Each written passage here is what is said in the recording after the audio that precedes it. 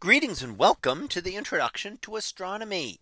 One of the things that I like to do in each of my introductory astronomy classes is to begin the class with the astronomy picture of the day from the NASA website that is apod.nasa.gov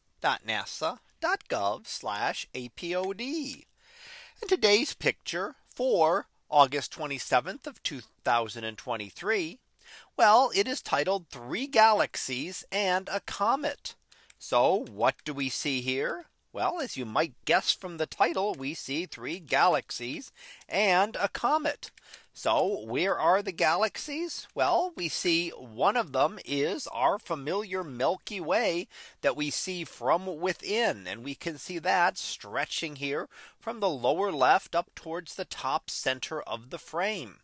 Now that is our own spiral galaxy, but it doesn't look like other spiral galaxies that we see because we're seeing it from inside.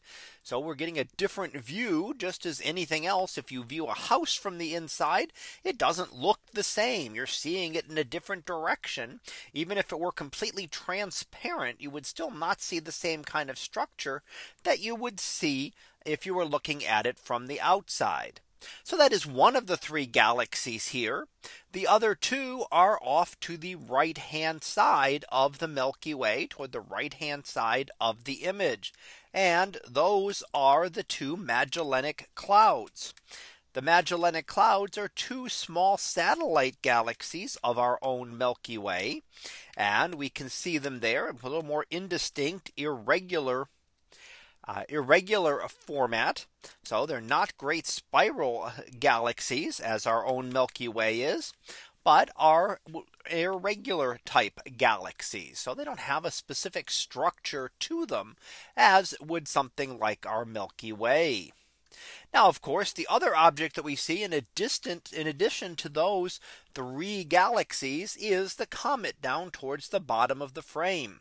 This is comet McNaught and is the comet that was visible in 2007.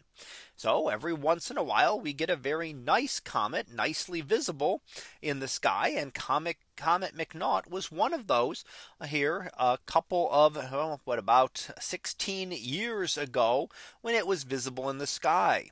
More recently, we had comet Neowise, which was visible in the summer of 2020, a prominent comet. So when will the next comet come? Well, we really can't say for sure.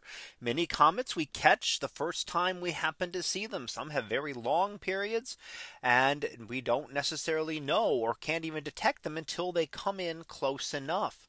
So here we see one that was a great comet and we have others that we're looking at that may also may also be nicely visible. Uh, that could be visible coming up in the future. So at some point again over the next few years we will likely get another comet like comet McNaught that is seen in our picture for today. So that was our picture of the day for August 27th of 2023. It was titled Three Galaxies and a Comet. We'll be back again tomorrow for the next picture previewed to be game stars. So we'll see what that is about tomorrow.